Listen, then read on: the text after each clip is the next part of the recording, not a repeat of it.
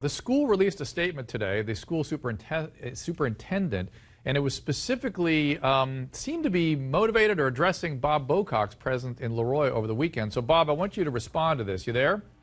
Yes, Dr. Okay, here we go. Here's the statement. Over the past few days, activities that have occurred in our community with respect to environmental testing by a representative who claimed to be working on behalf of Erin Brockovich have taken center stage. This has been a distraction and taken us away from our mission to return normalcy to our school district. It was clearly staged as a publicity stunt with members of local and national media invited to participate.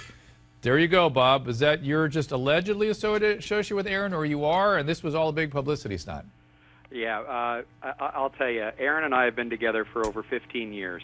We investigate uh, somewhere over 500 uh, cases like this on an annual basis, of which over 100 of them will actually physically go out into the field, much like we did in Le Roy. At every instance, we are invited into the community by the members of the community, by, by family members, and, and by people that are concerned with their environment and sickness.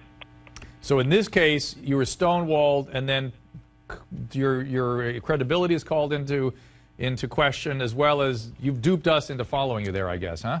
Yeah, I, you know, I'm a big boy, and Erin and I have been called a lot of things over the years, but I think this is probably the first time we've ever been called criminal. Oh my goodness! Well, and uh, uh, you know that that you know this morning when this was brought to my attention, there was a bit of an outrage, and and and frankly, that's downgraded to just kind of almost pathetically sad. Well, Ann, let me go to you. Um, why is the school taking aim at everybody else? Uh, is somebody dropped the ball there? Are they concerned about something? It seems like they should welcome in reviewers.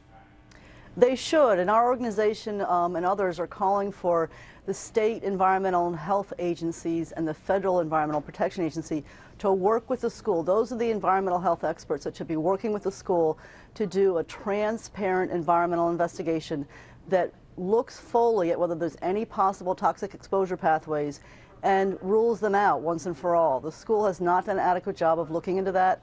They need the expertise of the state and federal agencies to work together on a transparent environmental investigation. And, and I understand you have had contact with the EPA and you feel as though their response has been adequate.